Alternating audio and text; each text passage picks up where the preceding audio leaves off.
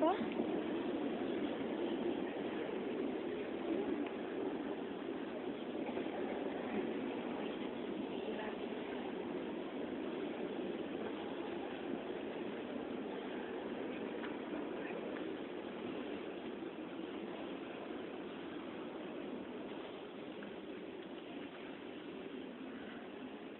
voici donc entrés dans cette superbe